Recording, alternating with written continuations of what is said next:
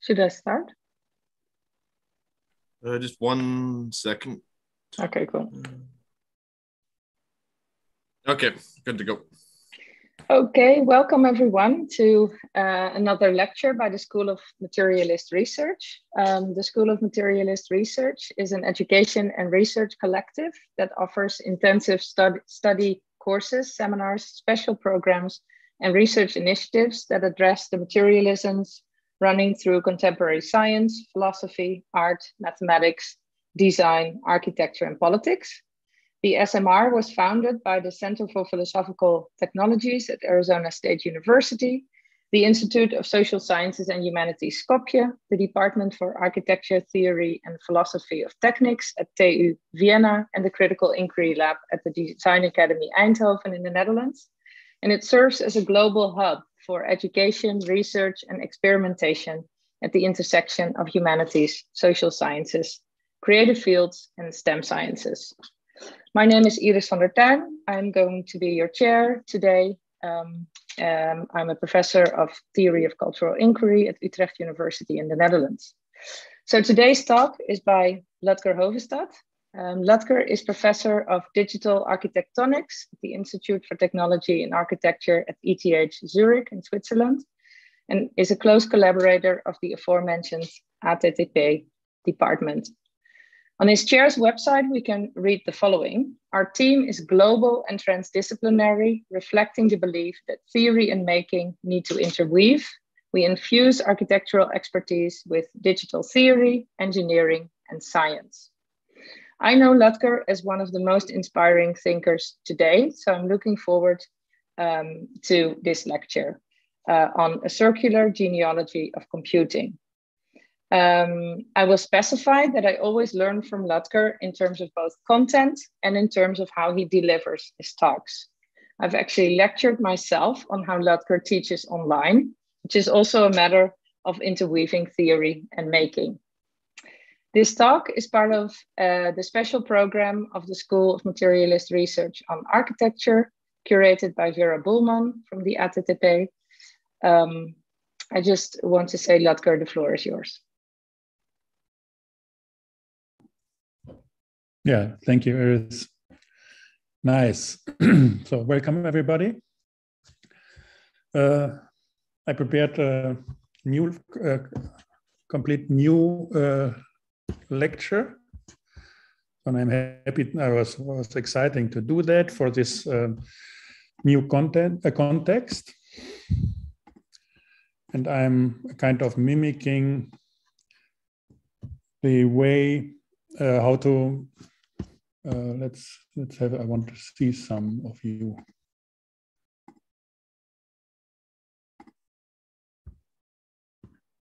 Why do I? Ah. Okay, so um, and uh, I rearranged uh, the, the, the topics and uh, mimic a little the the way how uh, Vera is uh, presenting, and it's interesting how these yeah, these, these different media uh, turns thinking in, in other other directions. So it's interesting to see it and I hope you enjoy. So if I'm uh, talking about, it's about architecture and the digital, it's uh, a lot of artificial intelligence we are working on. I myself, uh, now I'm about 45 years of computing. So from the very beginning and uh, part of it. And uh, I'm not a practicing architect, I'm uh, in research with all these different phases. And what we found out over time is that, yeah, things don't develop as fast as you might think. So, and it's important that and it's always very very astonishing uh, how our students react to it that these things don't start with the internet or with the with the iphone in 2000 or in 1980 everything and it took me uh, some 20 25 years and i stuck there with a cybernetic uh, setup. It took me very long to understand that the principal change in our cultural body of thinking was in 1900 And there is a change in mathematics, there's a change in, in thinking, there's a, a, change in techniques, uh, and there's our the cultural change which drove the, the 20th uh, century. Everything what we are uh, uh, uh yeah, challenged with uh, these days are excited, excited about and struggling with. So I call it the body of thinking, and you will see I don't go analytic with these things. I will not go there. It's quite different from what you might expect as a humanist. Um, I always think so. If AI computing uh, and uh, and uh, this turn happens around 1900, then I want to read the 20th century, the architecture in 20th century as intelligent, as artificial intelligence, as computed, as coded. And that's quite interesting to, to, to, uh, uh, to do, and you will see how this uh, works out. So what I'm currently working on, ah,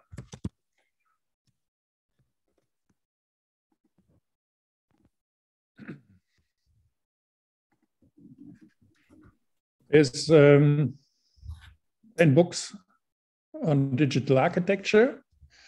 It's a tetraclid, and it looks like this, poet's, uh, poetry style.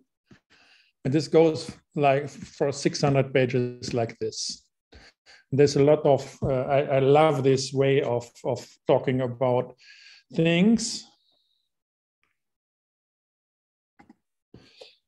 Uh, and I've, I, I like to, uh, to to be in, in sync, in, in the same constellation, behave and read our century like uh, uh, the, the thinkers and the architects of the, uh, of the Renaissance, especially, uh, especially and uh, of Greek and Roman uh, antiquity, namely by who, who is going? I have a remote control now. Uh-uh.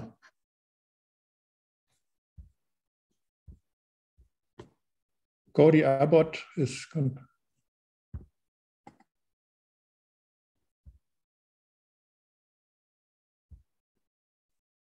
no, no.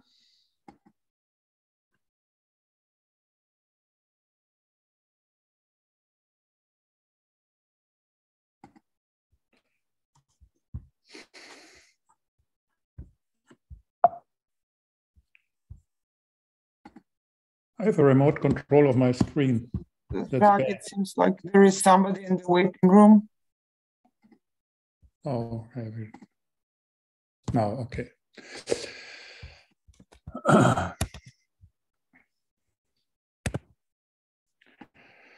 so this is what I'm currently uh, working on. And this, uh, these, there, there are these two prominent things from antiquity with Vitruvius and uh, in Renaissance with uh, Leon Battista Alberti, 10 books on architecture. And I will come to that. And I tried to do similar things and, and working on that, uh, similar things for, for the time uh, today. So what we uh, had at ETH, I started there as a full professor in 2000, so it's a long time. And uh, we have uh, several phases to get an idea.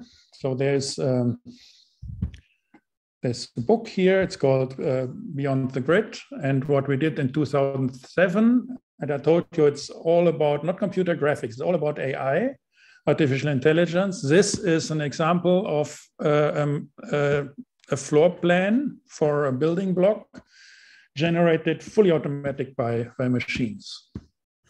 So nobody liked it in that time. Today it might be different. But this was a, a key point when we started to think what is architecture if computers can do what people think architecture is? And we won a prize for these things in an architectural competition anonymously with a fully automatic design. And uh, this we had been very proud of, but nobody appreciated that. And then we made a step towards um, uh, thinking and principle about what is going on, trying to understand that. And we went um, uh, to, to writing. We published a series of books. You can find it here. It's quite a lot meanwhile. There's a book summarizing our empirical experiments. This is the basic research uh, we did. These are our books. You can check it. And uh, currently, that's the current phase. We go uh, for uh, studio work. We this principal understanding of what computers, what artificial intelligence, what the principle of mathematics, the philosophy, the theory of these things, what the principle of understanding, uh, what does it mean for an architecture practice, which is uh, state of the art adequate for the world today. So, and I want to talk about these uh, kind of thinkings we uh, we see we, we, we, we work on uh, today. So in strong contrast to uh, to what the discourses are today, I would say it's about these kind of stormy stuff. So an architecture is exactly not about this, should not be. So we're all very excited. It's very stormy. We think that uh, things develop extremely fast. We try to, uh, to navigate on sea, but I think architecture is just calming down, offering generous uh, places to, uh, to, uh, to calm down and uh, to civilize these, these principal dynamics out there. So therefore my talk will be how to not about following these, these lines of argumentations. Uh, my talk will uh, go around how to, uh, to uh, establish uh, these, these generous places to, to, to host these kind of discussions. So if we look around, in architecture, prominent is um, is uh, the generic city, prominent reference to generic city of Rem Koolhaas with these. This is a, a little sarcastic uh, uh, uh criticism of one of the main uh, protagonists uh, of, of today, one of our key reference points. He calls it the generic city. And we have junk space. And I paraphrased it that is uh, the, the, the, paradox of, uh, of, of today, I would say, is that uh, this junk space, which says everything is designed, everything is too much of this design, too much of taking care. And my paraphrase of it is you can't improve by doing better. And that's the kind of uncomfortable paradox we are in. It's interesting to see and, and, again with these tools of, of AI like Google is, is developing or, or, providing. So this is the architecture around 1960. This is around the grid. Everything gets kind of orthogonal or very geometric. This is around the 1980. You see it's completely different, uh, uh, different temperament and it's more about uh, significations, uh, more about uh, uh storytelling, strange forms, proper localities. This is what we have in 2000. What we have is parametrism all these curved things when I started at ETH. And this is today.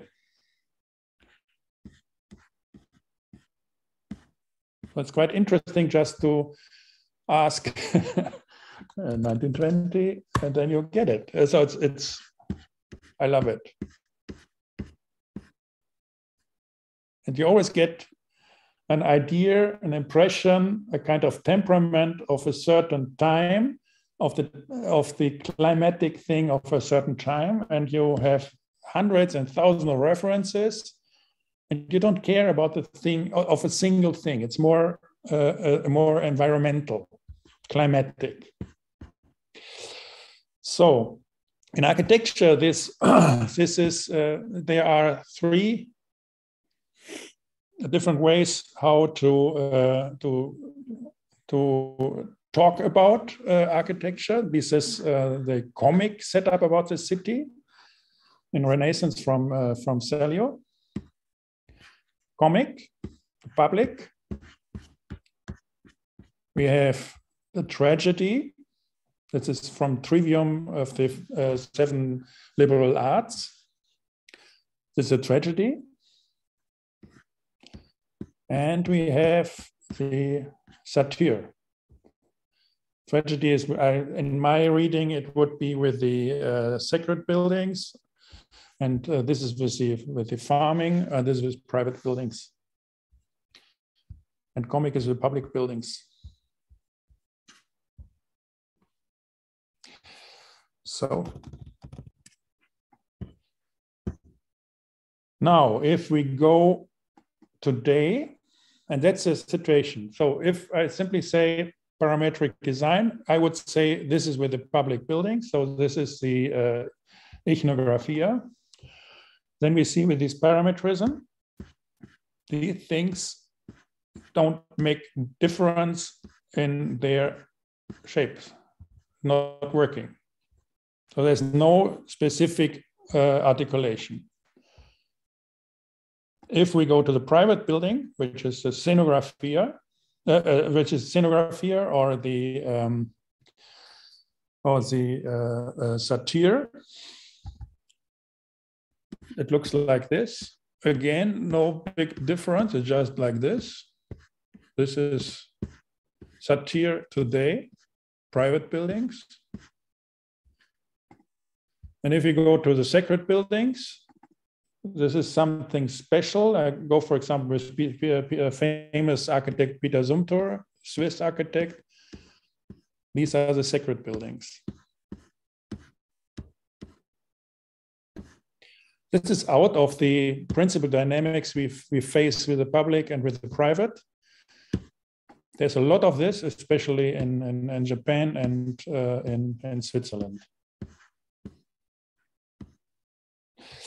Good. As an introduction, what is architecture? So, all this, if we go with materialism and so on, so I think what we have in, in all three cases, with the private, the public, and the sacred, or with the, with the tragedy, the comedy, and satire, in all of them, is that these things today got positive so they the things get they're thought of as real. So if you have a door, if you have a wall, if you have the architecture, if you have uh, a facade and so on, they're thought of as realistic. And I don't believe this is how it can work. So if we look here in Renaissance, in my thinking, this is in the same constellation of uh, in, in, uh, of of thinking. It has a, a symmetrical body of thinking than today, the 20th century. You see that this thing is empty, and all these things we we are covered in our cities. We are we are we are in our interior design and and so on. They are at the walls, and then the, the ground is geometric, and empty. And then all these memories of the past times, all these things all around, they're at the wall. And the architecture is something which is ephemeral. So you, you can't, so and I would say you can't see it. So I will go later on it. So this is what I think is a principal difference of what we see today. They're all empty. And I don't believe that they are empty just because now it's a museum or something. They are like that and meant to be like that. So, this is a scheme to push to, to, to, make my argument of this principle of, of that emptiness So my, my argument is that you can't see space. You can't see an architectural uh, uh, artifact. What you always see is with your eyes, you cut in a certain direction, you cut space, you cut it, you, you turn your head or you take your second eye, you turn it, and you see have another perspective. And then it's, it's an intellectual uh, um, uh, enterprise to think the space as there. So on what you actually see, that's very inter interesting in, in physics with your, uh, with your eyes, even is not space. What you see is uh, uh, things, uh, colors, and colors are frequencies. So which means you have, for example, with blue, you have high frequency, and with red, you have low frequencies. So what you actually see is time. So very interesting.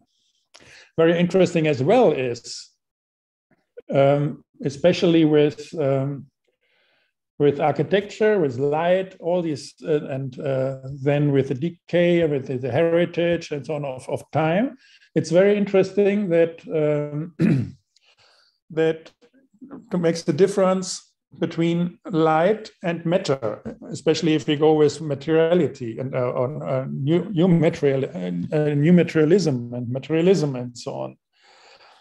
So what is important with, with space is space is full of light. So uh, what, what I so our space is omnipresent and transparent. So what we, for example, have with our mobile phones it's full of these electric electrical waves, which are of energy and so on. And you, this is omnipresent. They don't collide. They're transparent.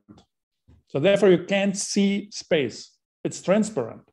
Everything is there. You have mobile phone. Your neighbor has a mobile phone, and the space is full with all these frequencies. And then we have these little machines just to get things heard or seen and so on from outer space. And this is delivered over our planet and our cosmos in light speed.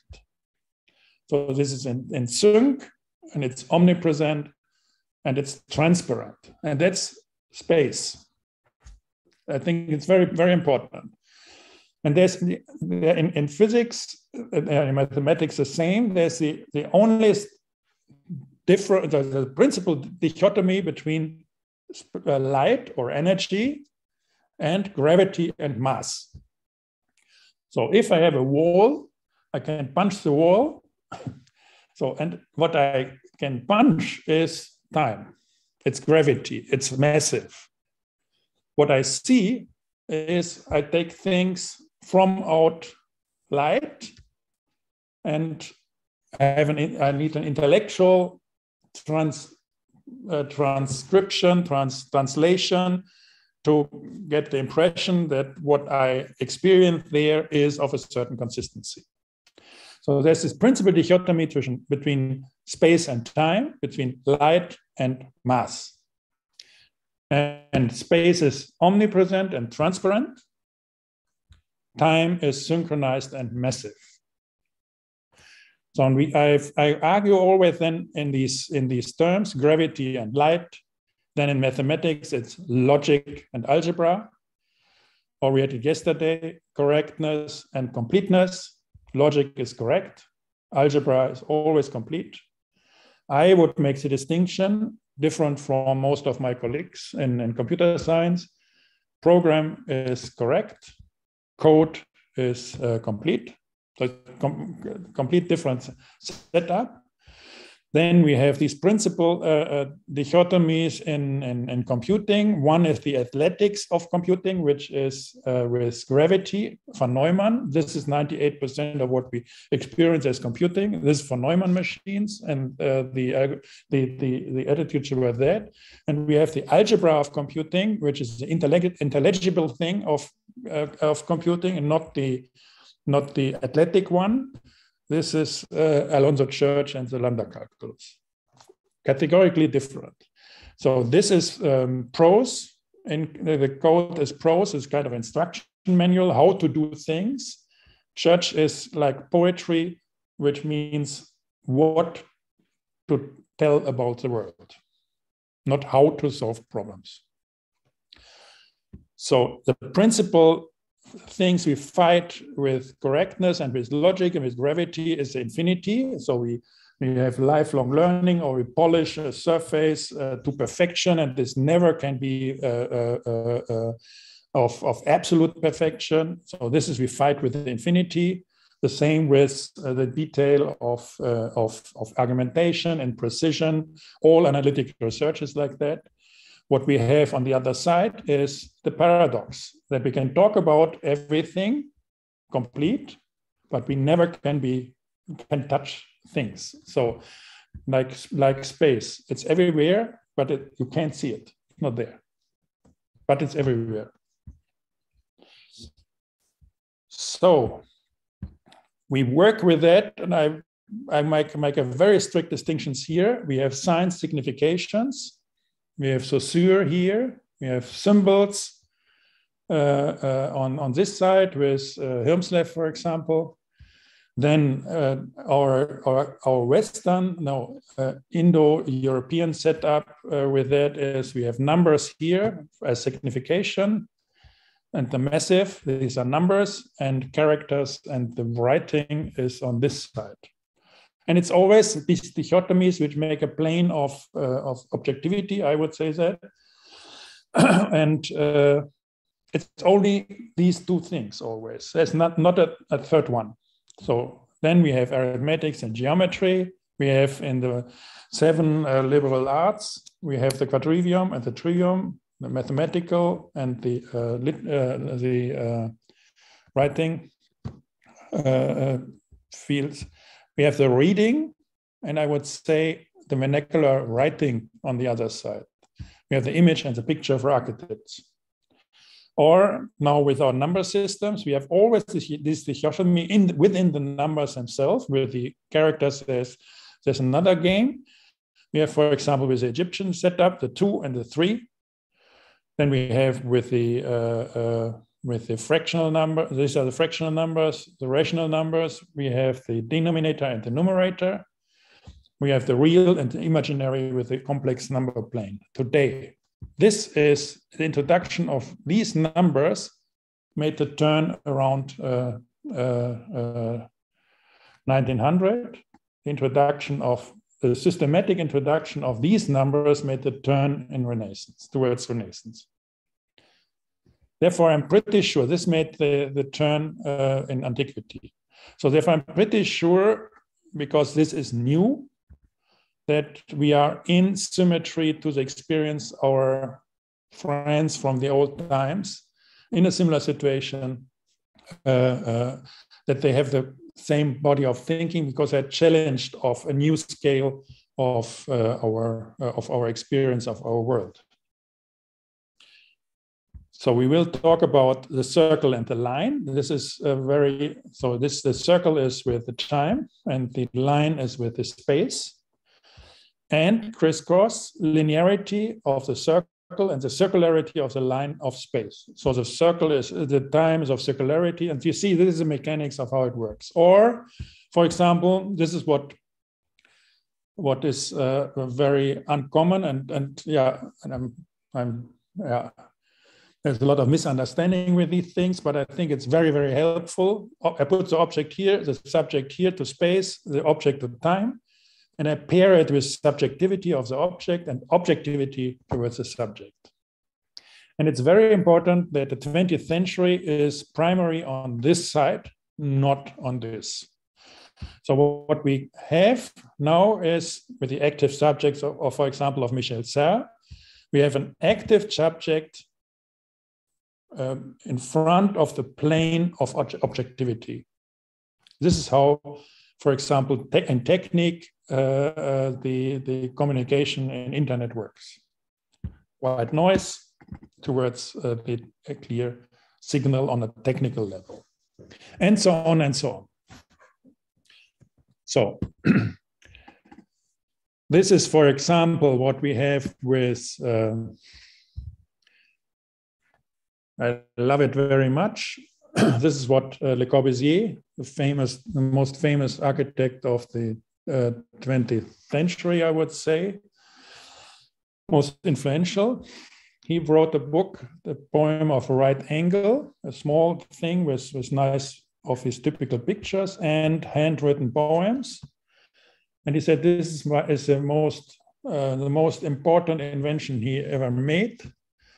And uh, he's writing about uh, a, a, poem here. A man affirms his beasts also, and the plants perhaps, and so on earth alone, which is ours, the sun masters of our lives, and so on. And he says, uh, day and night, and day and night. So, and the sun rises and the sun sets, the sun, the sun rises anew. This is from 1950. Uh, so very similar thinking, and I'm I'm find it everywhere. That's that's very important as well. So therefore, night and day. So we had uh, we have the massiveness of the night and the lightness of uh, the day. And Corbusier is playing with that with different materiality, with the geometry of things, with a, with a, a proportionality of things, with a texture of things, with the speciality of things, all according, according these kind of uh, symmetries, day and night, and you see color schemes around these things and so on. And uh, this, I think it's interesting to, to, see. In mathematics, just to, and then we will, we will uh, stop with this abstract stuff. And mathematics, is like this.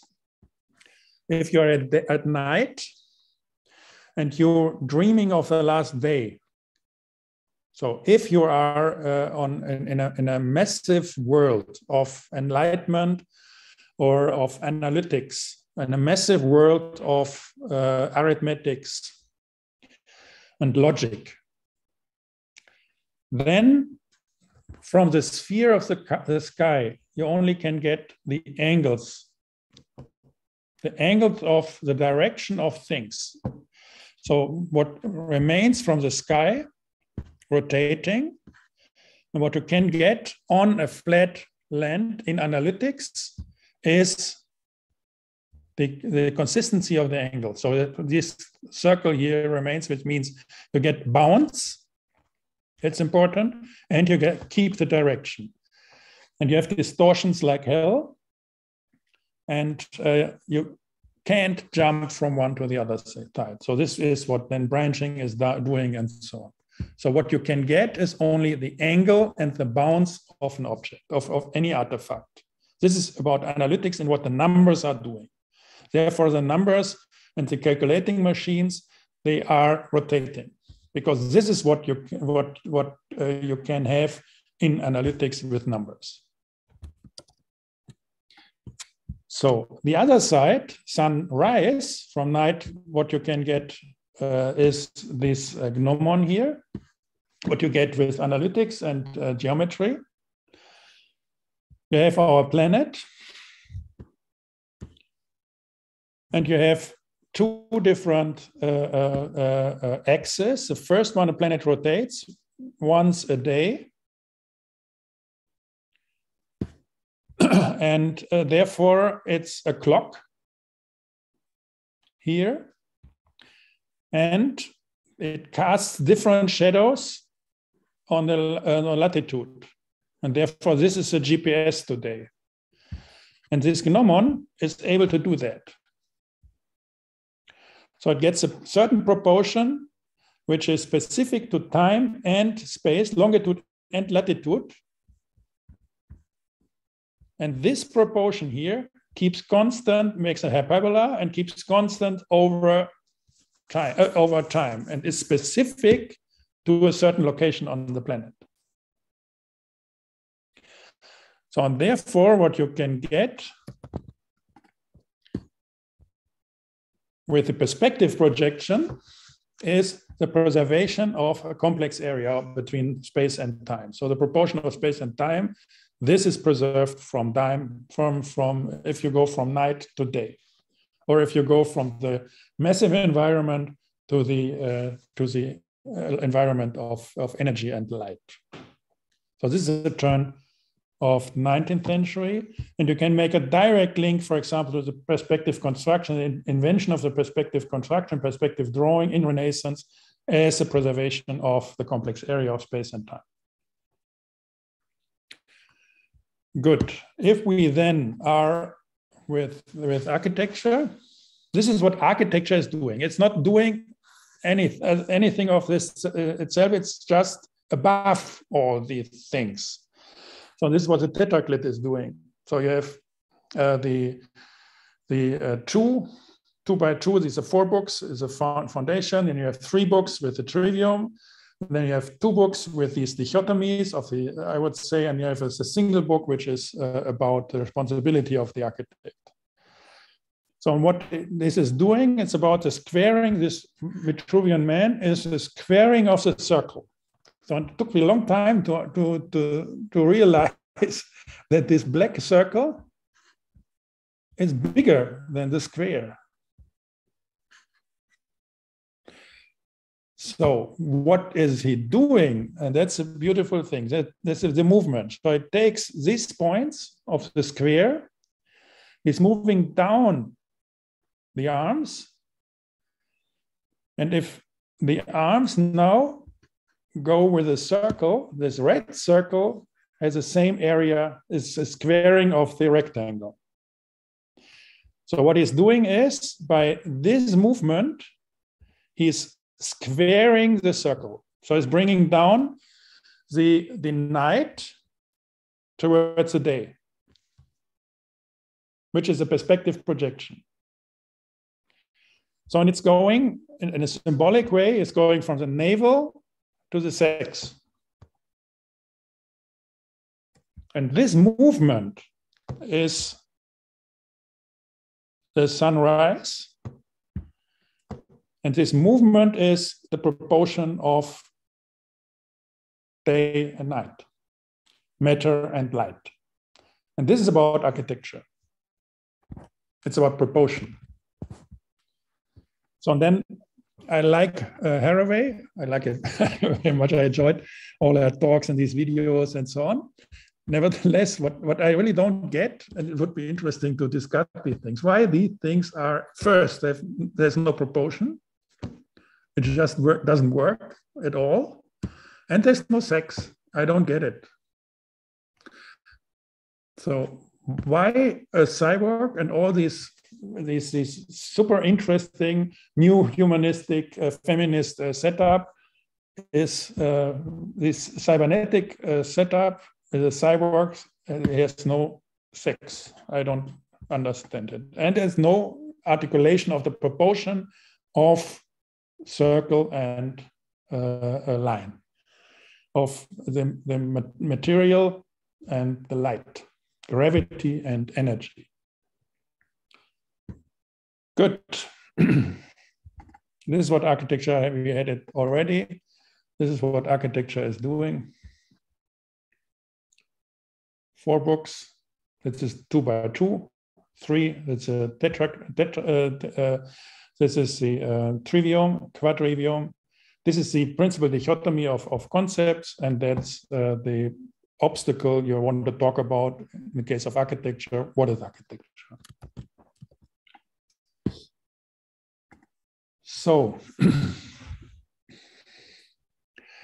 Here we have these kind of rotations. So what I'm I, I try to do is always uh, embody these uh, these these ideas. And now, for example, here we have a Renaissance picture. That's Renaissance. This is a picture of space, the circle of linearity and space. This is of energy. And it shows up like this there is the opposite, there's another body of thinking. This is uh, 18th uh, century, 1800. That's a line of circularity. This is in time, and it looks like this. So this is driven by forces. This is blown up by light. So then my hypothesis, we are, we are in a similar setup like Renaissance. So again, with space, these are the figures of today in another scale. So this is of uh, rational numbers. This is of complex numbers, but the same constellation. We have uh, another, another, now go to artifacts, for example. We have, for example, if we go with, with, with, with artificial intelligence, we have uh, stochastics. This is about prediction and we have it with Jugendstil. For example, here Donetsk, Donetsk uh, stools, they are driven like uh, Wollstonecraft, driven by the energy incorporated of the material, a materiality. We have the compilation, arts and craft, same time with Mackintosh. that's completely different. This is a kind of compilation, is not a prediction, just the other way around in time. Prediction is is is, is uh, towards future. Compilation and statistics is uh, towards the past. And I want to make again, uh, like very few, as we had it with program and code, very few of my colleagues. Probabilistics, I would say is 20th century is on complex number planes. It's statistical on complex number space. And we have these kind of chairs. And they are articulating the different materials. So, so they, they, this is, these are artifacts. They're playing around with the different characters of things. So they are constituting again uh, in light and not following forces. Therefore, form follows function and so on. These are all very stupid uh, descriptions of what uh, is going on. Or now we had it with, with the portraits. These are then scales of humanism.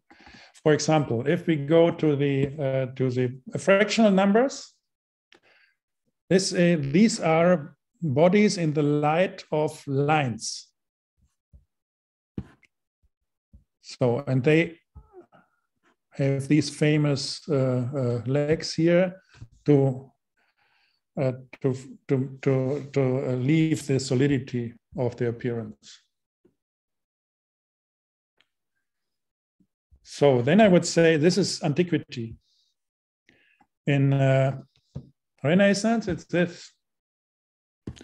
We go one level more detail. I would say this is within, if the space is full of light, this was the, was the light of lines. This is around colors. Give colors to the, light, to the light. So the space is full of colors. And uh, I would go with uh, Ishiguro, with this guy, and our robots today uh, for today. And this is electric. The space is full of electricity, and uh, we have it here. Don't touch it. what, what, what, are you doing? don't, don't, no, no, no, no, no, no, don't, don't do that. Don't do that. No. Good. This is today, and I would say this is a scale of space of images, and they are of the same constellation, but of different scales. Lines, I would say, it's of colors and renaissance, and the space today is full of changing lights, changing lines in rotation as color. This is uh, how frequencies of colors work, and images is that you have frequencies of changing colors as the numbers are doing. These are scales. And with each new scale, we need another humanism. Good. The challenge of, of today is with this new scale, always, it, that things get super easy. It's simply so easy. So, and it's, um,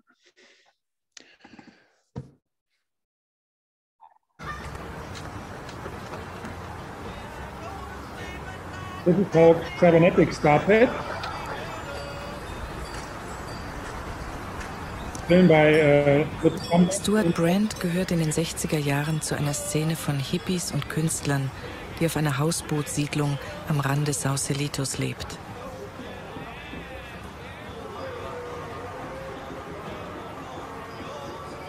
Eine zentrale Figur dieser Szene ist der Schriftsteller Ken Kesey. 1960 ist er eines der studentischen Versuchskaninchen, an denen im Auftrag der amerikanischen Regierung LSD getestet wird.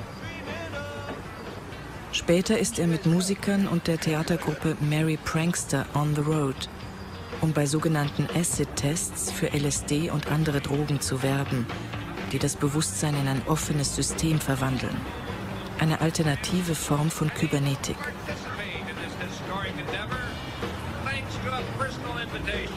Have to hurry up a little. So you see, it's not innocent uh, uh, at all how these things uh, develop, and it, it took a long time for me to to uh, get from this innocence uh, stuff and get that it's it's military and so on. And it, yeah, we have to uh, hurry up a little. So what? go go for example here. Why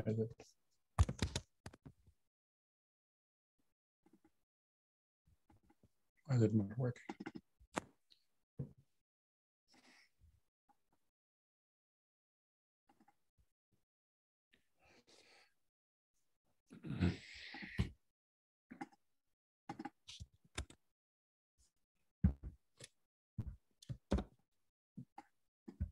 That's a problem always with the first time.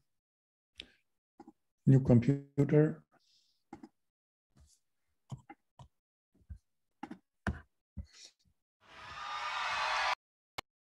It'll be so look at this.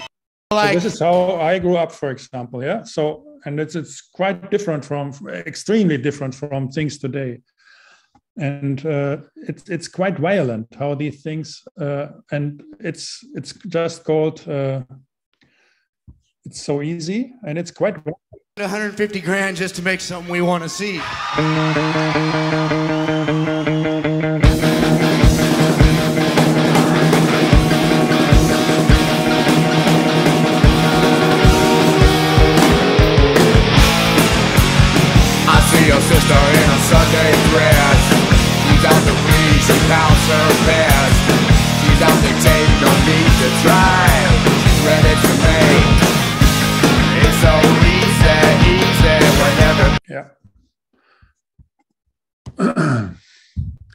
So, and this is what I think. Uh, what we have. That the challenging thing is that with, with computing, with the digital, things get very easy. So what, for example, we had with uh, now every kid can do new uh, videos and it needed equipment in, in 2010 of a few thousand uh, uh, uh, euros and in 2000 it had been 20 30,000 euros and an education of two or three weeks to make uh, any kind of video cutting and now it's on your or in your pocket for kids in professional um, uh, uh, quality. And it's with everything like that.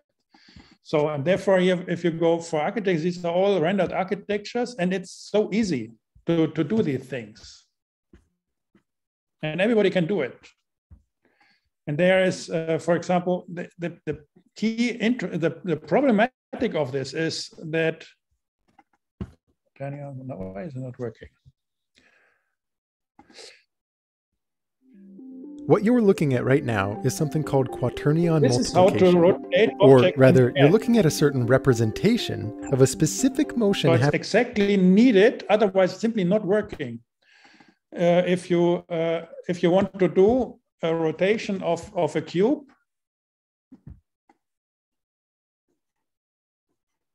if you do this, you think it's Euclidean geometry or Cartesian geometry. It is not. You need the complex number plane. It simply was impossible to do these things in 1500, in uh, 200 or 300 BC. You need quaternions, you need the complex number plane. And therefore, this is a rhetorical mimicry if you go to the render, rendering of, of, uh, of objects. And it makes it so easy and convincing by that. So, and it's the same story like everybody is telling about, yeah, how they um, they mixed up and, and uh, they, they challenged the whole architecture and redesign, reestablished the whole architecture in Renaissance, just with these kind of drawings, convincing people running around, getting uh, historic artifacts, rebuilding them, and selling buildings before they had been built. So, and they challenged these old people. Because here you needed a hundred years of building these things, and you had to trust the people, you have to trust the craftsmanship, and so on. And there's nothing about it's just about trust. You don't sell. This new thing they, they sell, and then they run around and do archaeology. They run around and uh, look for the old temples, and they rebuild them, get a new language, and so on, and sell these things in all over Europe in, in shortest times with, with a new kind of technology. This is what I think we have today with the cultural heritage. This is how we, we, we take the world in the digital, which is not good or bad. It's just, I think, a similar uh, setup. If we go, then Now, for having this, this principle set up, this kind of challenge of the new scale, now I look at the different phases of how this developed over the last uh, 50 years, where computers had been uh, secularized, had been there and developed. So the first phase, and this is in literature everywhere, we have uh, we had uh, high-level programming languages. It's around from it started around 1960, and it's uh, like this. So what we have in electricity, things looked like this. These are the lamps these are the interfaces, these are the urban spaces, and these are the people. This is Marlon Brando going with uh, things. This is urban space, how they, it, it's, it's done. This is how uh, people behaved, objects are there, how they are articulated. And these are the computer interfaces. These are the interfaces, design objects of that time. And these are people parting. So, and I think it's it's it's a, a specific body of thinking, and one of of these uh, uh, yeah articulation is high level languages, a certain technique how to deal with the with the new space and the new scale of space on a technical level. It looked in architecture, prominent is with John Friedman. It's all about quads. It's always about uh, functionalism, these kind of diagrams specifying what to do where. So the space is a functional branching organism, a diagram. All architecture is organized like that and packed. And prominent is, for example, here the Frankfurter kitchen, Frankfurt kitchen, where you go and everything has its location according to a specific function. This, I would say, is the first level, uh, first phase uh, in how to secularize uh, uh, computing around, and this is around mainframes and the uh, and high-level languages. What currently is super popular is these object-oriented uh, languages. We, we know object-oriented uh, ontologies. This started around 1980. These are the artifacts. The fuse, the lamp, the interface, urban space, the heroes, urban space,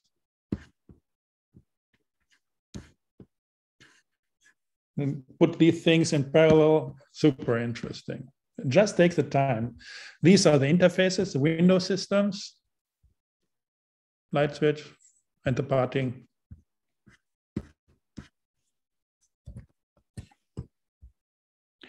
In, uh, in architecture, we have uh, two principal schemes dominating uh, computer applications uh, uh, in architecture today.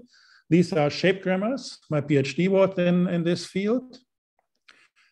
These are rules, how to, in, in a fractal manner, how to go to more details in architecture and describing the, the uh, architecture not as, uh, as, an, uh, as, as a spatial, uh, a spatial uh, subdivision, but as rules producing objects of a certain uh, characteristic. Looks like this, completely different. There's a structure, structuralism, postmodern. And uh, the uh, geometric part of that is this is a structural uh, phase of it. This is the geometric phase of it. Is uh, this it's parametrism, very very popular, and you see it's all the same. This, by the way, we made the geometry for this.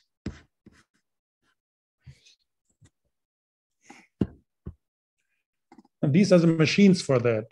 This is a von Neumann architecture. You simply think this is a production line, how to produce things, just to make these things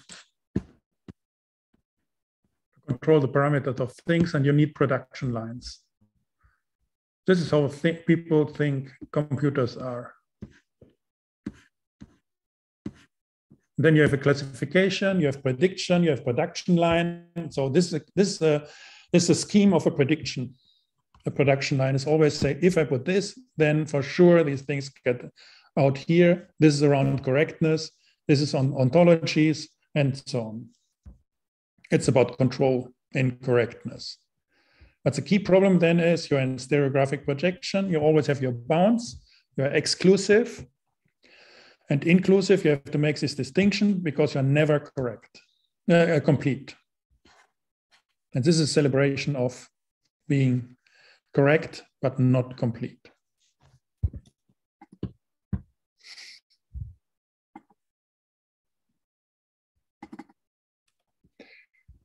Good. Yeah, it's about stochastic, it's about prediction, about classification. Even if we take uh, artificial intelligence today and call it prediction, it's in this in the thinking of ontologies of 1980 you have classification. This is within the flow of time. Therefore, these production lines, these instruction uh, uh, manuals, you're exclusive, you're massive, you're infinite, you're with uh, object-oriented programming languages around 19, 18, 1980.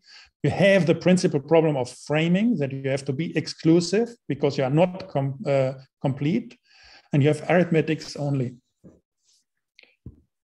So and what you have then with, uh, and then I'm almost done, with 2000, and this is missing in the reception today. Everybody is, uh, uh, is uh, either with our building information models in the 1960s model or with object-oriented model, we are always in these uh, in these fancy uh, uh, geometric uh, fantasies and dreams. There's a technological uh, uh, uh, cut, directly cut in around 2000 with the internet. And these are, I would say, these are markup languages. And they go like this. It looks like this. Everything goes electric. The light is just there. These are the interfaces. These are urban spaces. And these are the heroes. These are the artifacts, the interfaces. They are more like comics, landscapes of, uh, of interfaces for real estate. And these are our spaces. And these are our offices and working spaces. And these are the designs. Good. to sum it up, this is we have uh, these things. And I would say there will be not another phase. That's it. Because in 1960, we had the mainframes. 1980, we have personal computers. In 2000, we have internet. And by the way, there are uh, always international standards to synchronize uh, the uh, in worldwide industry. So you can find it in international standards, what I'm telling you. It's not a, a special, special interpretation. It's just there. You have an enormous increase of the amount of computers and uh, ubiquitousness of computers. So this is called imperative functional programming. Declarative is, uh, is object-oriented, it's declarative programming. And I would say what we have today is uh, markup languages. They drive the thing around uh, XML, extended markup language. And the interesting thing is you see that uh, you are either on, on form, you fix a form and fix the form and have structure and uh, um, and the model or the articulation uh, fixed and uh, play around with form, or you play around with structure here, uh, form and structure, and the models are there. And if you have form and structure free, this is what we what we have with the internet. And that's uh, uh, stunning. So the big data and artificial intelligence and this bundle is uh, with markup language is the way that the world can talk and the, can, can have a web of things of the world without any pre-assumption of form or structure. So therefore, I think it's a very principal gap here when we learned that. And this was uh, this was uh, with the financial crisis in I think in, in, in May 2005.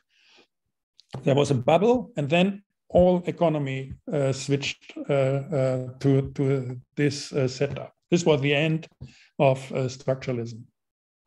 Technique wise, just the internet. Technique wise, it's mobile devices.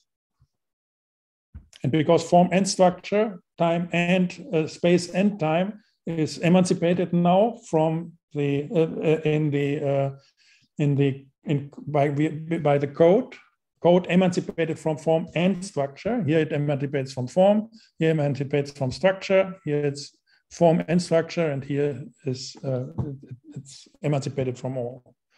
By that, we can have uh, this global, we, we can code the globe technically. So,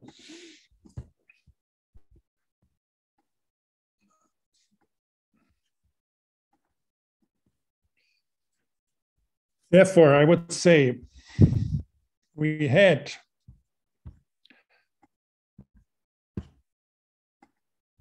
that's very in, in, interesting. We had with this uh, postmodernity, with the object-oriented uh, uh, uh, uh, programming languages around stochastics, prediction and classification in time.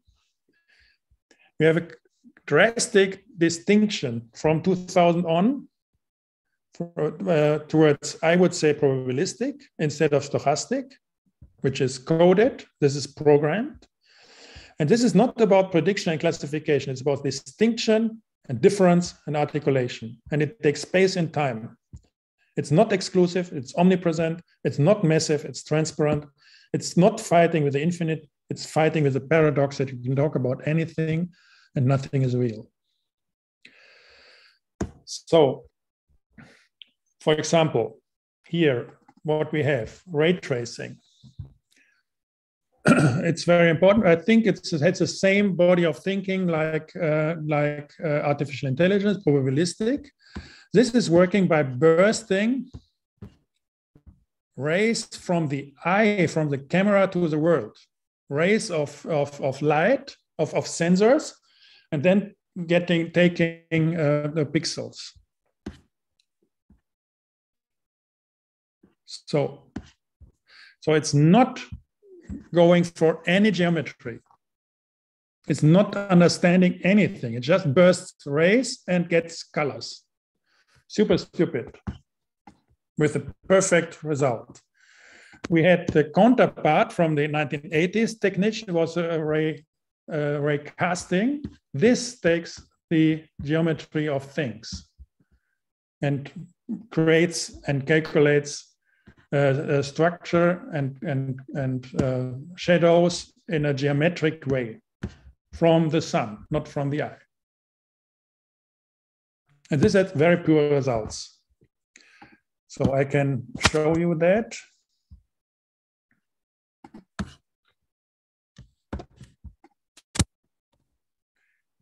So this, for example, is uh, is uh, GZ1.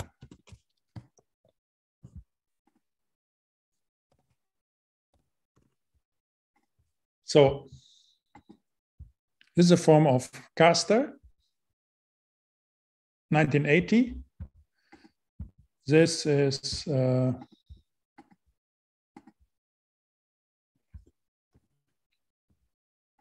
this is the uh, ray tracer.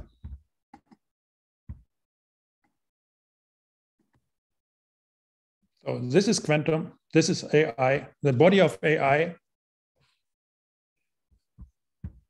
this is a body of objects. You can make a little shadows and, and so on, but you see that's the difference. Go one step further. Text translation, for example.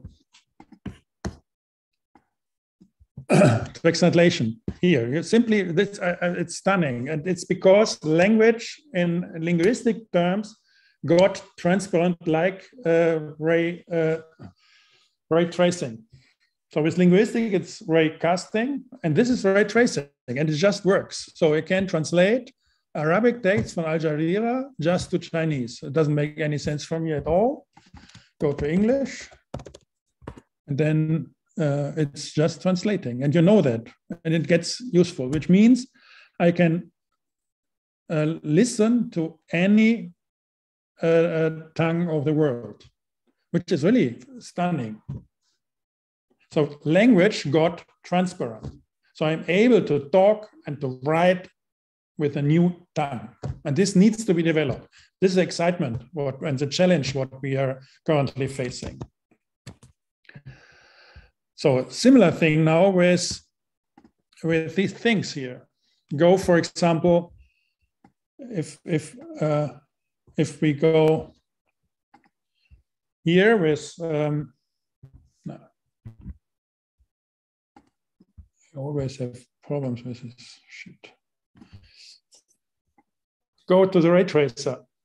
You see now it's, it's getting environmental. For example, I can go with this with the world. Then the light is coming from a photograph. So it's coming from this photograph. So the photograph is a sphere and it's illuminating my object. It's environmental. I change the sphere and it just is in another world. So it's not an object. Everything is atmospheric, is of light, of light and space full of images. That's what I want to tell you. I want to want to show you. And you don't have to do anything. You just have to put it to another place. Just works.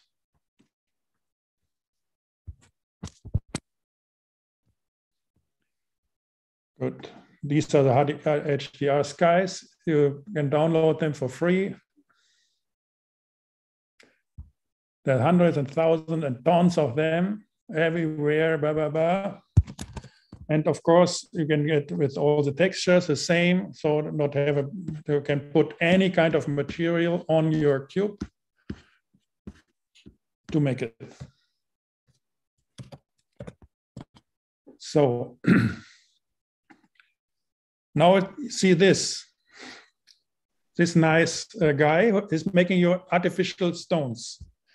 And he's making these kind Hello, of. Hello, my name is Chris Let's Bailey. I'm a Blender YouTuber Yeah, at YouTube I'm- slash C Bailey Film. Today I'm bringing you this tutorial with CG Cookie. We're going to be Yeah. Ludger, I think we, we don't see your screen uh, at the moment. It's frozen. Really?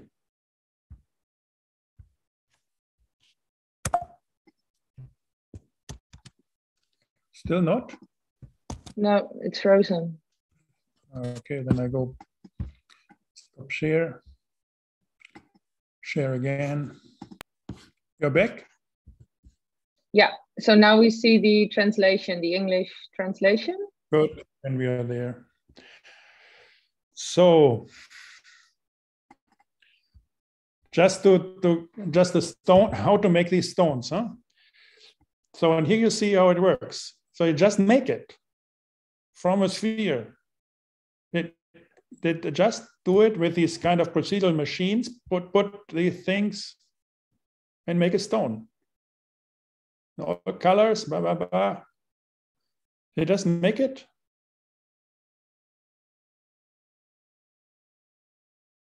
And these people just tell how I do everything. It's just for free. These people do it for free. the software is for free. And they do these super realistic uh, stuff. The interesting now is that these words created like that, they're hyper realistic. So they're just making nonsense with this. Huh? And they talk about this in a way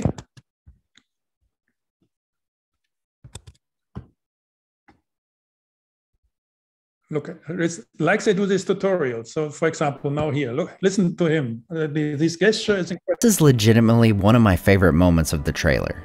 Here we have Sylvan Elf Arondir grab an arrow out of the air as it's about to hit someone on the ground next to him, flip it around, and shoot it back. I gotta say, as cool as this move was, it would be way cooler if it wasn't slowed down. I hope that in the show this happens in the thick of battle and happens so fast that the audience has an audible, oh dang, moment. There's so many films nowadays that rely so heavily on slow mo, and I think this is how these things are discussed and, made. Yeah. So this is done because, and you can do it because, yeah, uh, space is is full of, of of images, and you can turn it as you like, and you uh, there's no logic with that, but rhetorics. So having that, last chapter is our studio. How do we do, how we go with our students? Here, for example, we have um, Cedric Price. I love this guy. He is from the 1980s.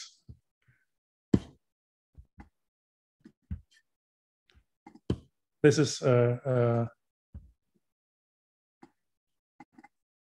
a counterpart it's him, Ishigami.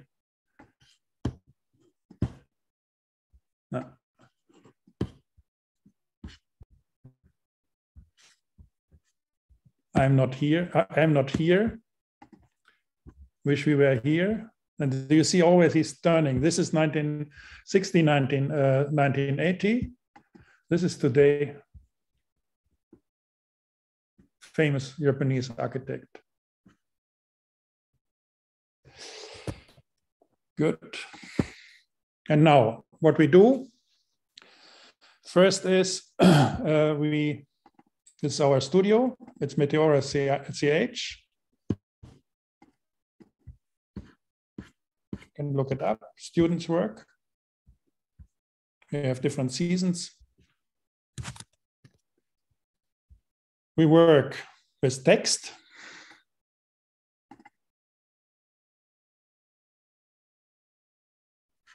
with these libraries and AI. So this is to cover uh, the, the, the characters of space, of the rooms and the, the, uh, and the building itself. So this is a library of 1,500 books we're able to access with a private Google style uh, uh, machine. And students write pretty fast, very nice text about uh, architecture and things today. First module, first three weeks. Then we do the same with video, with movies, second three weeks.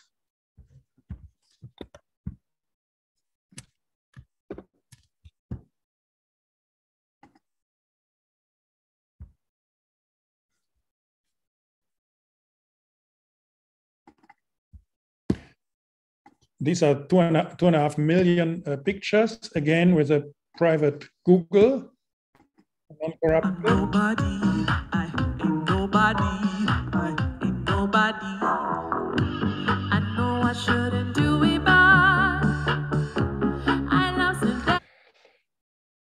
So, and then we create these kind of uh, student works in the in the third module.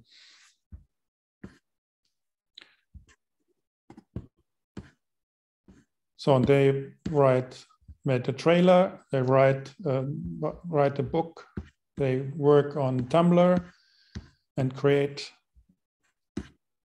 texts, images, renderings of uh, temperate rooms to get uh, stability.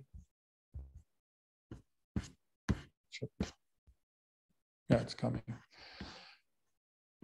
So a huge rainbow and spectrum of uh, architect architectural uh, articulations around a very strong uh, story about the building. Uh, the booklet is here. These, these are the things. Working with the pictures, giving them spectral, taking them, putting them to architectural temperaments, chamber of solution, a strong covering uh, story, renderings around the fire. Okay. That's it. This is a famous, this is the, the client of our, and then I'm finished. The client of our actual class number six. And this is uh, this it is a kind of trailer for our studio which starts next week. She got pregnant she's belgium. This is her husband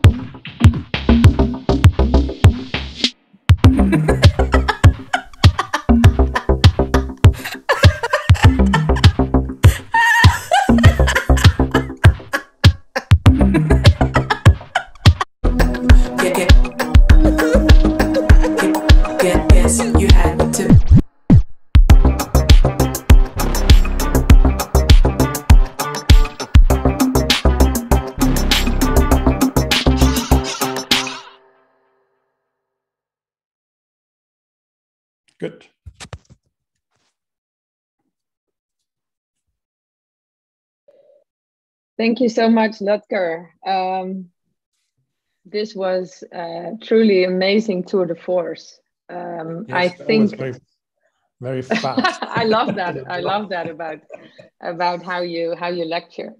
Um, I'm very much looking forward also to to the ten books, obviously. Um, so I think that for now it's time to open up the floor for questions. Um, there's the possibility to ask questions either directly when you're in the Zoom or uh, in the chat uh, when you're watching this on YouTube or um, yeah, in the chat in Zoom. So there are multiple options. And when you're here, please raise your hand.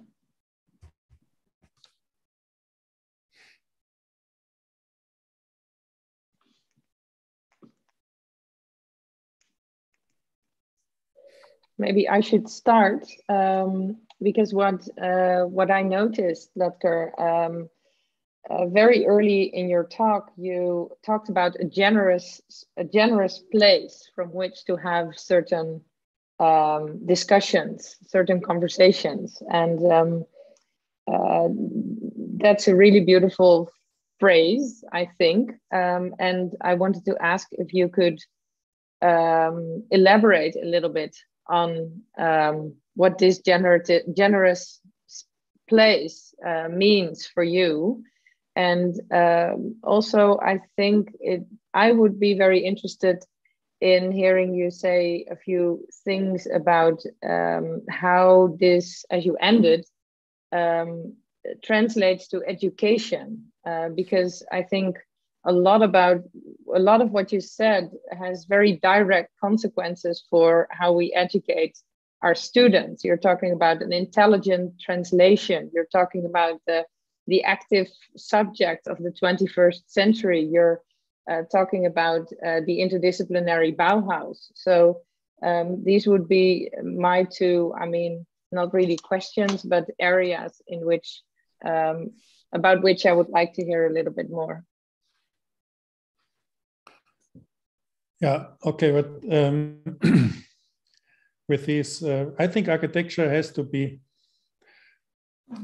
and this is the misunderstanding of, of most of the protagonists today that uh, you don't have to to curate by yourself and uh, you don't have to uh, articulate uh, uh, things by yourself. You don't can't be an art, artist and so on. You simply have to host all these things so because architecture is a kind of beyond that, because no, no, better or it's just a discipline or uh, uh, something which is uh, always had been beyond that. It's just hosting these things and collect them and bringing them into proportion, so that an, uh, some a center can be as and you have to clean the center. The, the space has to be clean, and by that it gets uh, uh, generous to things to come in a certain climate. So what the tendency today is, people take a theory, especially with the functions or with the structuralism even worse, that they say it should be like that, how to live here.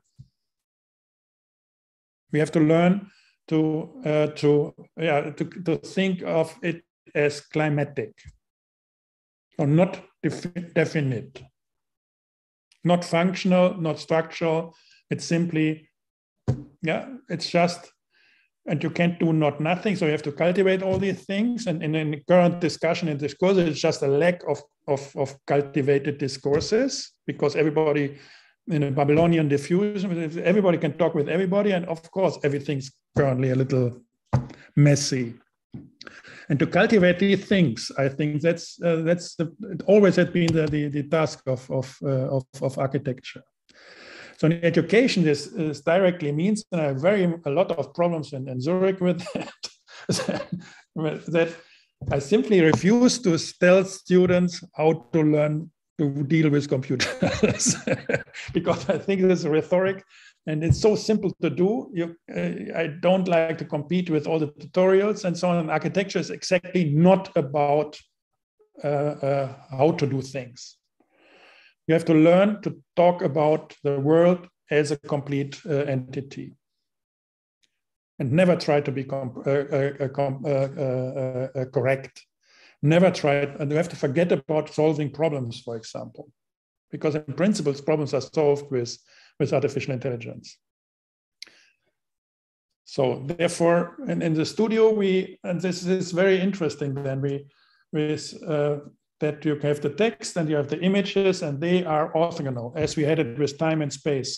So they just work and they, if you make a rotation with text and images, you can create this space of, of anything. And this is our, our the things we explore.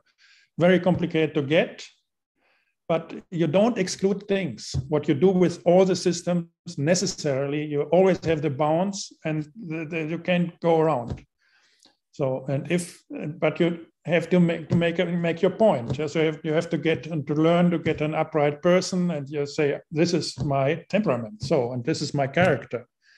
So, but you're welcome and I'm curious to, to invite you as a guest. You but and you can talk and we can talk and so on. And this is a lack of things like that these these days in all in, in, in all disciplines.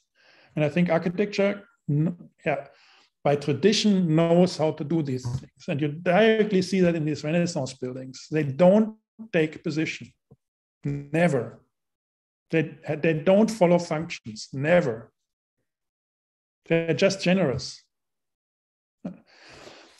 So, and learning to from them how to do it with today's and on today's scale with the web of things this is what we are trying to do.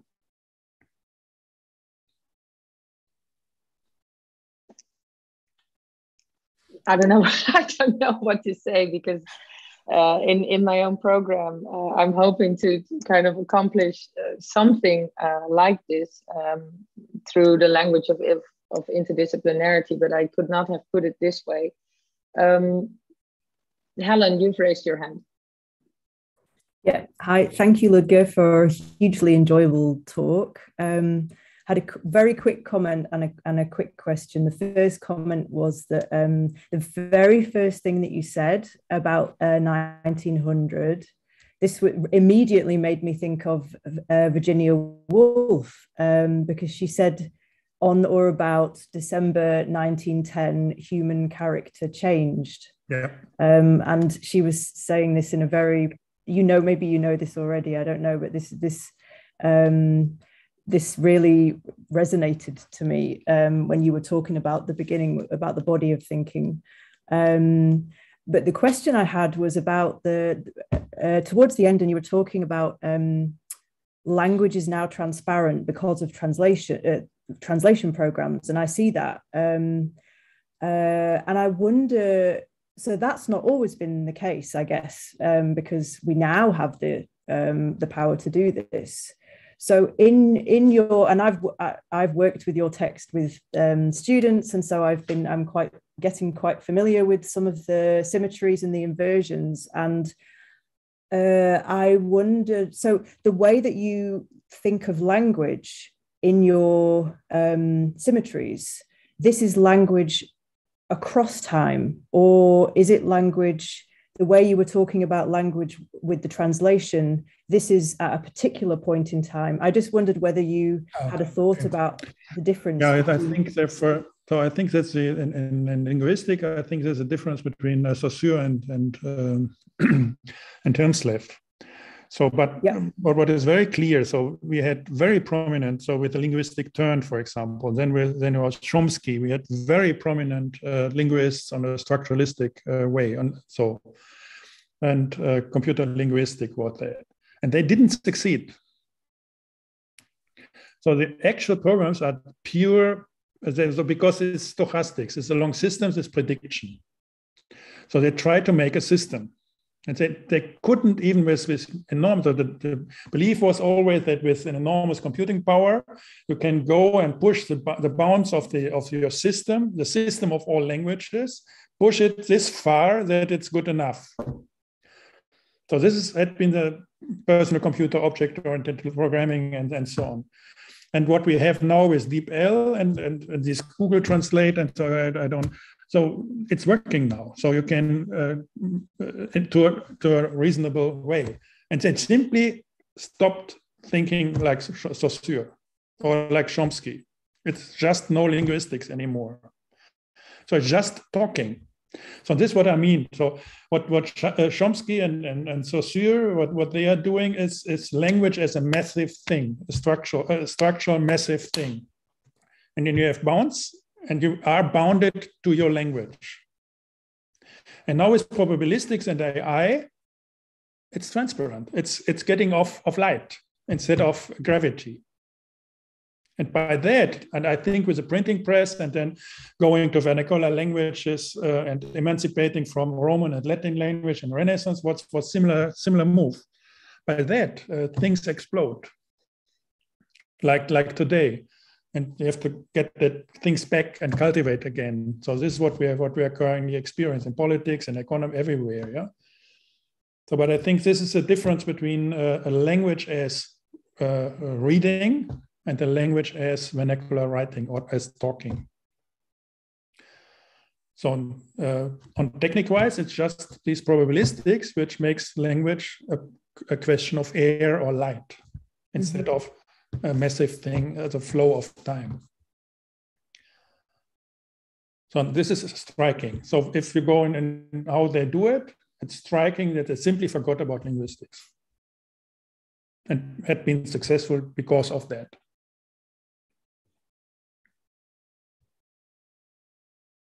Yeah, that makes sense. Thank you. And it's really sense. striking. And it's the same with, with these, uh, you can't, so technically it's not possible to rotate a, a, a square as a, on, on a screen in Cartesian coordinates. Mm-hmm. You need matrices for that. And matrices are complex, which means it's the same. You need a transparent space. you can't do it uh, with, uh, and so can't do these rotations. You get, can't get the rotation interactive. That's, so it's striking again. Or it's striking that uh, with this ray tracing, you get proper, as a, super nice results that I showed with everything instantly because you forget about the objects you want to render. You just burst rays and that's it. and you get color pixels again, space, it's, it's not any longer a question of, of the solidity of, of, of things, of objects. It's getting active and atmospheric. Better results than ever before.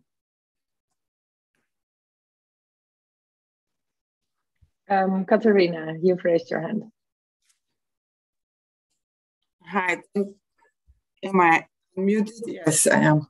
Uh, thanks, Ludger, for this talk. Um, I've been wondering, uh, actually trying to guess uh, what you mean uh, by this opposition between space and time and the claim that space is in a way unreal, if I understand well, yeah, and time is real. Yeah. And what makes time real is gravity. So is this a certain ontological stance of yours, or is this a kind of um, phenomenology of architecture that you're talking about, or is it no, you know like literally in the physical sense of the physics sense of the word? No, in physics it's very very simple. In mathematics, it's it's just there. So it's it's not architecture, but this radical. I, I don't know anybody who is, who is just doing it in this radical way. So in physics and in mathematics, it's directly there, and there's nothing mm-hmm. else. That's very important. So, and then I apply it in reading how uh, computers work and uh, how, how things in architecture, architecture are organized. Then, for example, with the quadrivium, then you have the four the, the Platonic elements. They are working in the same scheme. So and then you have the mathematics with the two and the three of uh, with Egyptian mathematics, or so all these kind of things. They're all the same. So the uh, the the, uh, the the complex numbers with the real and imaginary part, which is constituent for mm-hmm. the, the 2021 for, for our time with this term, which is, is for, for, for computing, for quantum physics, and so on. Yeah, it's mathematics. So it's and it's always it's a recap of always the same scheme which goes through our culture. And I would say it's uh, it's this universal, these dichotomies, that this is a way to communicate, for example, with China easily.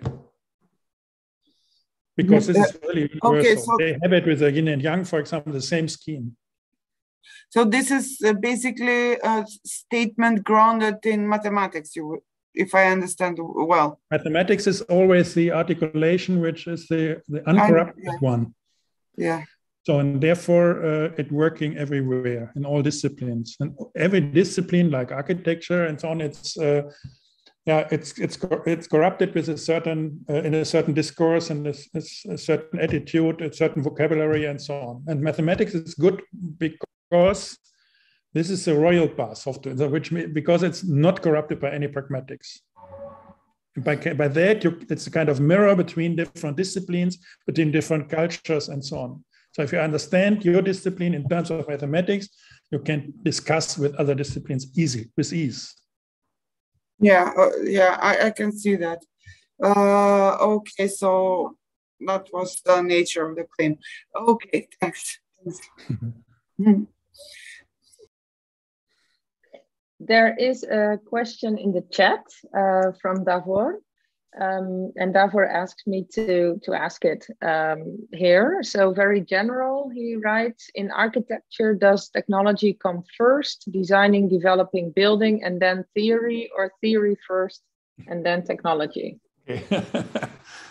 so in my scheme, all of these, uh, so I would make a, a clear difference between uh, design, which is uh, on the on, on in time and on the logic of things and architecture with this in, in air with the ratio of things.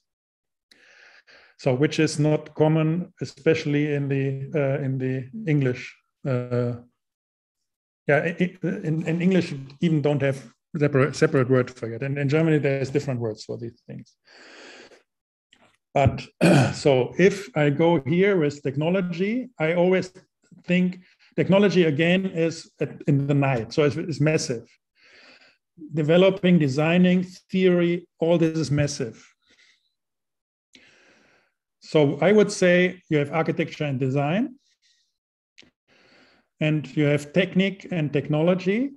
Technology is with logic. Technique is, is mechanics, so it's it's a kind of artistic thing. It's a it's a it's a magical trick. It's, it's technique. So theory is the same. So you have uh, theory is always with the logic, with the bounds. And therefore I sympathize uh, more, yeah, it, it's more articulation, a, a dram dramatic setup with poetry than theory. So uh, this is on the other side. So I would go in these two, uh, in, in, these pairs always, which are uh, of dichotomy, and then I would start to rotate these things to establish stability, and this would be architecture. So therefore, first and then, for example, again, it's a question which doesn't, in, in, a, in a planetary system, in a Copernican, so if you have a Copernican turn where, where active subjects rotating, everything is on circle and making lines, there is no before and after. In space, there's no space, no before and after. In, in air, in space, is omnipresence, and there's this is it's it's uh, it's uh, in sync everything. So there's no before and after. It's these circular things. So this question again is not an architectural one, I would say. So it's a little a little trickier these with this question.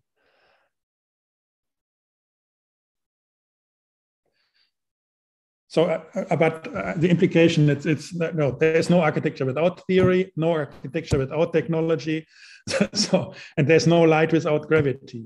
So no gravity without light. So the proportion I'm talking about is to to balance these things.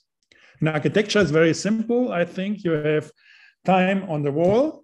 You put things on the wall in orthographia Time plays uh, in the in the floor plan on the floors and the architecture is to put these things in proportion, and you have a body and volumes.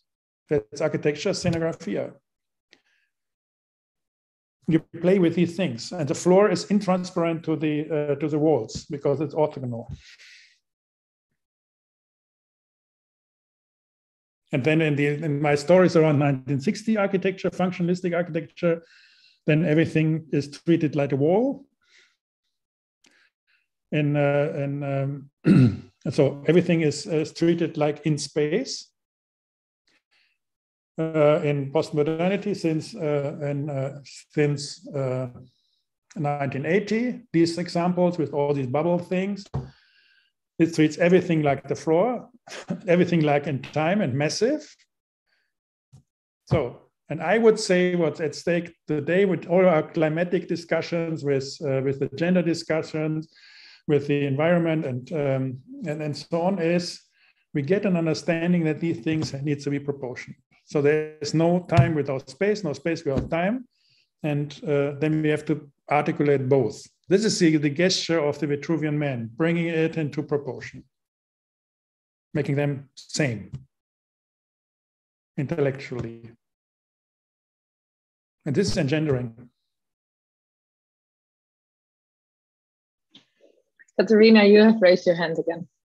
I mean, if it's too late, I don't have to ask. Uh, I don't know. Do we still have time uh, for your question, yes, and then okay. I think we should we should. Okay, uh, it's a quick one. Uh, it's a quick question. Uh, I mean, quickly answered. I hope.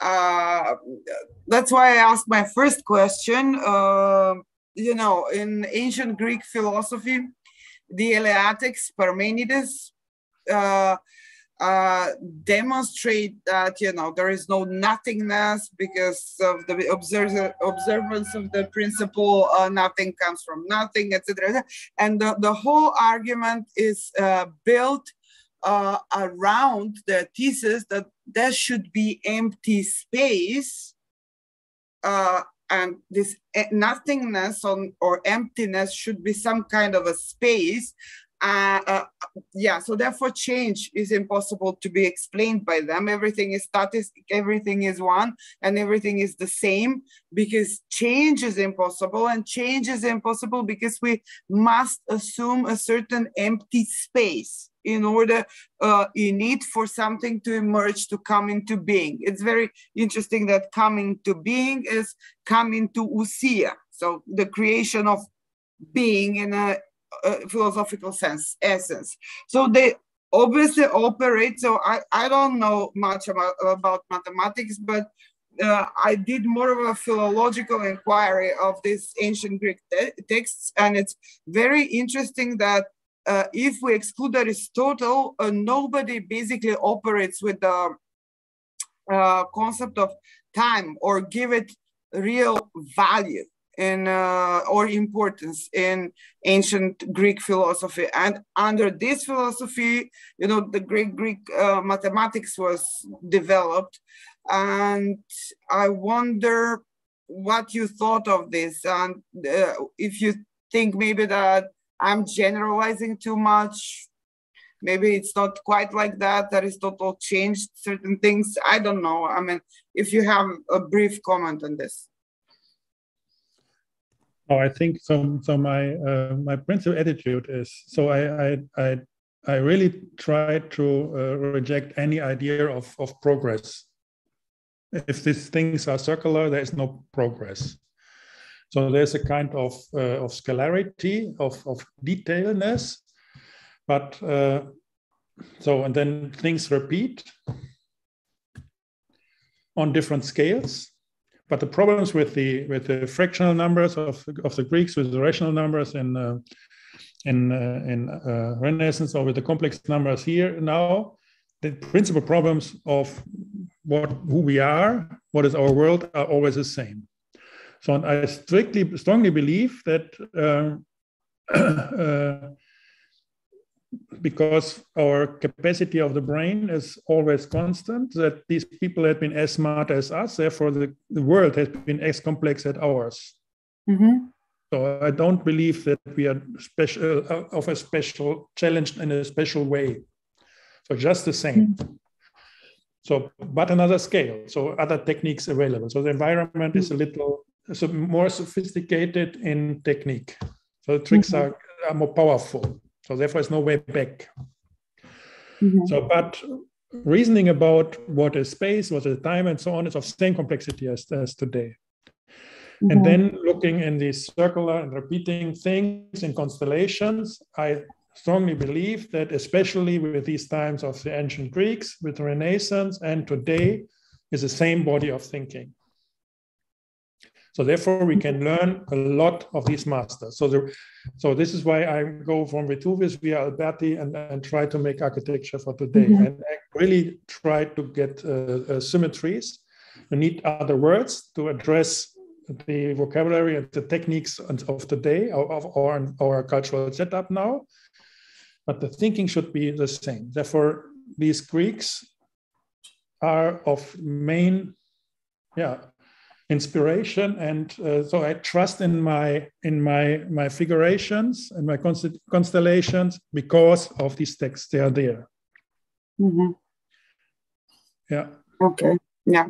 Great. There's no reason for these things. It's just again climatics that you adjust mm. it and say if they do it some must be something like that in our words today. Mm-hmm. and you see the level of abstraction they have. So they simply say and the more yeah. you understand about yourself, the more you say, wow. Huh? So smart people. yeah. yeah. okay, thanks. So I said that Katerina's would be the last question, but I do want to give the floor quickly to Aniruddha Mukherjee, who will ask her yeah. question, and then we will uh, close the session. So please go ahead. Thanks. Uh, sorry, I think it, it should be a quick one.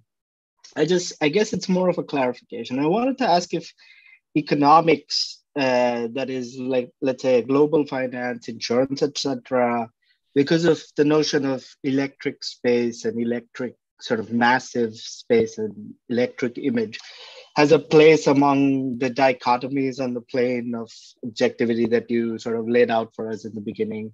And if I understood correctly, uh, eh, this electric image or electric space is massive, but there must be a way to point towards and, uh, I don't know if it's an ontology, but a, a, a, idea of a critical mass, right? Even in your studio projects at Meteora, you're saying that uh, it's a way of talking about how architecture cleans up the center and, and produces a sort of collection of certain things. So how do you make that choice, basically? And uh, just as a little comment, I thought the question was going to go out in the chat anyway. I'm, I'm Indian, so I love the dichotomies you present, but then I, I really find it quite difficult for uh, uh, this time that we have at the moment to have a very, very autonomous economics. I'll just quickly mention a couple of examples. Let's say uh, this one should be easy. Elon Musk sending um, drawings to how uh, streets uh, in some neighborhood of Mumbai should be redesigned so that his cars can go around, or even not making it about the West or the East, but to say that uh, uh, the Hindi speaking majority of my country should uh, send memos down to the southern parts where um, the, the, language, the transparency of the language is still quite uh, challenged. And this plays out every day. You know, we, we with our many languages have seen this in every election for a while. So how does this idea of uh, a completely autonomous economics, let's say, sit within your uh, uh, uh, ontology. The rest of it I very much enjoy. I just couldn't figure out if this stands as a discipline for you or not. First, I think this, um, uh, as you say, the electric image uh, space, it's not massive. Space is always of uh, of, of, of, of energy and light. So, and uh, these the images today they are electric, so which means they are circulating all the electromagnetism circulating, and, and so on. you can go in physics to make these uh, scales from from the lines of the Greek to the colors in Renaissance.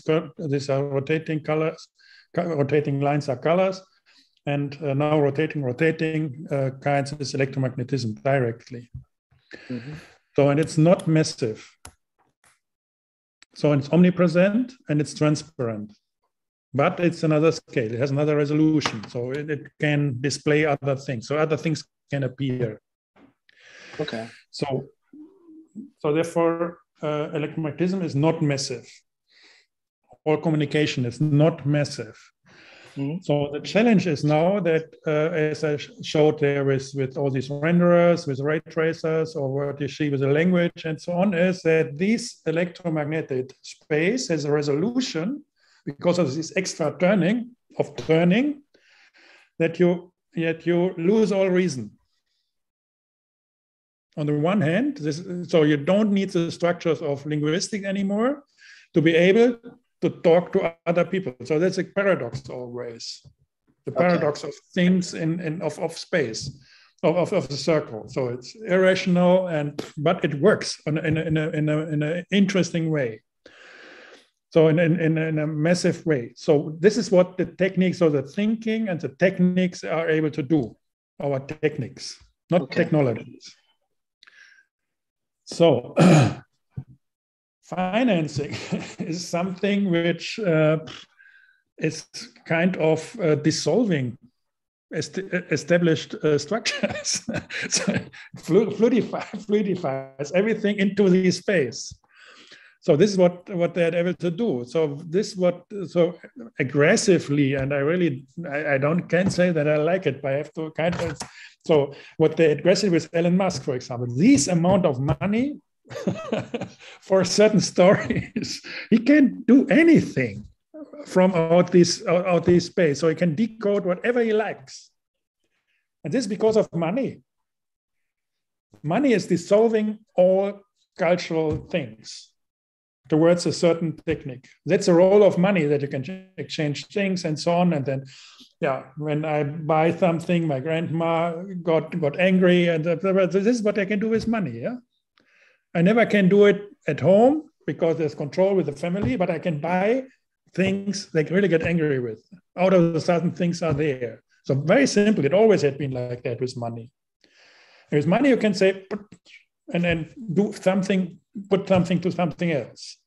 And they do it on a massive scale. And this is fluidifying other things. I'm not expert in economy, but I think the role of money is that you're able to yeah, to, uh, to, to decode things out of this new space, to, to come back and, and, and do something, which is shocking, which is frustrating. So, which, which is uh, yeah dangerous or can be dangerous, but it's it's it's beautiful in itself. Can be so. Therefore, it's not a technical, it's not an economic problem. It's just a political problem we have to learn this i think it's architectural architecture plays a major role with this. How to civilize this challenge. And these are monsters yeah they, they are all around. The, the space is full of this it's transparent they're just coming as they like so whatever they like and so on. And Elon Musk is how, how much is it with Tesla? 1000 billion? What is it and you can do a task, bam, it's there, whatever. And it's it's it's uh, I really don't get and understand how it is possible that in US single persons instantly get so powerful without any social political control. Yeah. Yeah, so it's always a economy around. Yeah. Yeah, thanks for the clarification about the technology and the techniques here. Yeah, it was quite shocking when he said finally at some point that the electric car could have come out a long time ago his car but uh, he what it made it was made possible because people were ready to show the cities to private companies so autonomous cars was why tesla was made possible because of the scanning of the cities and less because of the engines. Yeah. Anyway, thank you so much. But it's using the same technologies like Trump. Yeah, so it's, it's the same thing. So there's no ethics in these things. The, the lack of ethics. So, and with, with the, so the problem is that we talk, it's a trick. Therefore, I, I, I really dislike the term technology because with logic, you're always good. It's not good or bad. It's a challenge. So there's a technique, it's a trick, and he's a trickster. So he's doing the same kind of tricks, the same kind of techniques like Trump did, and so on. And they all do it if they are masterful. And therefore, it's a question of ethics, doing it right, not good or bad, but right. And you know, uh, whatever you decide, in detail, it, it can't be good. This this I think is is a challenge today. Cool. Thank you. Yeah. Hmm. Thank you so much for um, for this last question, and also Ludger for your last answer.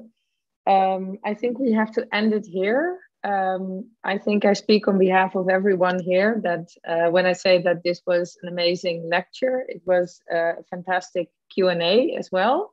I hope you will have a wonderful evening uh, ahead of you uh, without screens and uh, or maybe screens whatever good glass of wine um, uh, on March 10, the next lecture in this series will be given by Philippe Morel, Matter as Machine. And then uh, I'm just mentioning this because of the, the, last question.